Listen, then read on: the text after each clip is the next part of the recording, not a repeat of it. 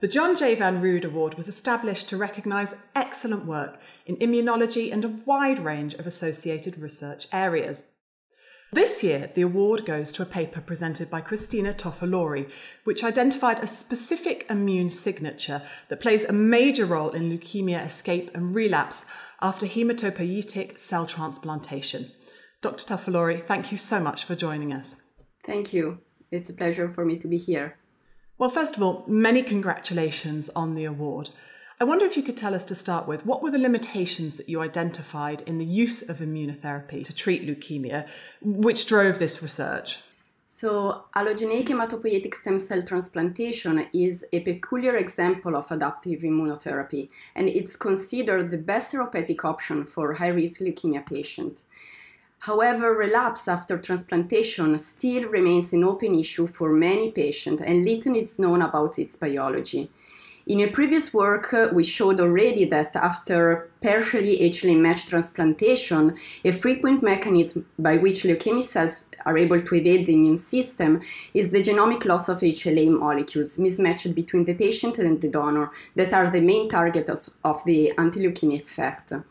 Since this phenomenon does not explain all the relapse observed, um, in the present study we were interested in investigating whether immune escape could also explain other cases of post-transplantation relapse. So how did you go about identifying the, the drivers for relapse after transplantation? So we decided to perform a systematic comparison between purified uh, leukemia blasts collected at disease diagnosis and relapse after transplantation high throughput technologies and immunophenotypic analysis were applied to characterize the genomic and transcriptional profiles and to be able to identify a pattern that was uh, specifically acquired by leukemia cells at relapse after transplantation. We performed this analysis initially on an uh, internal cohort of uh, patients, and then we had the chance to validate our data on an independent international cohort of patients, strengthening for sure the finding that we observed. So, what were you able to identify in the patient cohorts? And have you been able to identify an immune pattern for all relapses? So um, we reveal two novel non-genomic but epigenetic mechanisms exploited by leukemia cells to evade donor immune system.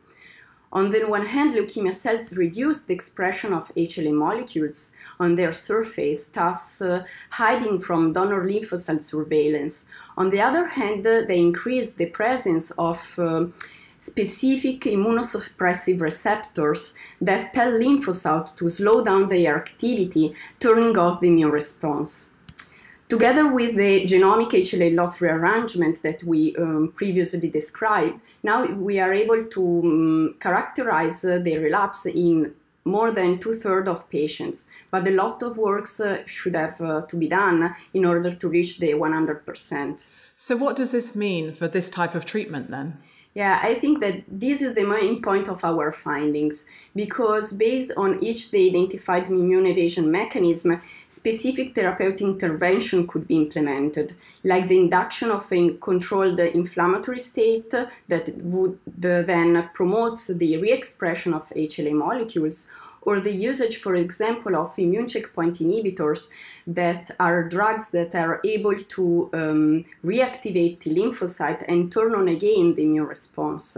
In all these cases, making the wrong treatment choice could not be only ineffective but even detrimental for the patient and i think it's it's very important so the study really addressed the relevance of studying relapse biology uh, since they could really um, drive the design of targeted and personalized therapies. So, what does this award mean for you? Uh, first of all, I'm delighted and honored for receiving the Jon Rood Award this year. It's uh, the proof that uh, of the great work we have done, thanks to a talented research team and also to our great national and international collaborators located inside and outside Europe. These awards strengthen my commitment in uh, persecuting my research on these topics, and I think that my career path will for sure benefit from it. So, what's next then for you and for your group? Now, what uh, we are doing in the lab is to try to characterize how the rest of the bone marrow collaborates or adapts to this type of relapse modality and why it fails to enact measures uh, to counteract them. So we believe that therapeutic strategies leveraging on multiple cell subsets and on different targets could significantly reduce the risk of selecting leukemia escape variants, thus reducing the rate of disease relapse after transplantation. Well, Cristina, we look forward to hearing more about that in the future.